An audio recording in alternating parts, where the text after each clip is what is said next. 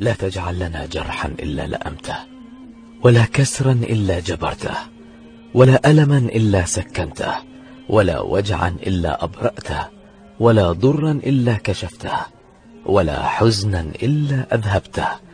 اللهم ابسط علينا من بركاتك ورحمتك وفضلك ورزقك. اللهم إني استودعتك يومي هذا فلا تجعل فيه ما يثقل صدري واجعل به ما يسرني يا أرحم الراحمين. اللهم اغفر لي ما قدمت وما أخرت وما أسررت وما أعلنت. أنت المقدم وأنت المؤخر وأنت على كل شيء قدير. اللهم إليك مدت يدي وفيها عندك عظمت رغبتي وأنت أعلم ما في القلوب. فخذنا إلى ذلك الطريق بعيدا عن ضوضاء الألم. برحمتك يا أرحم الراحمين.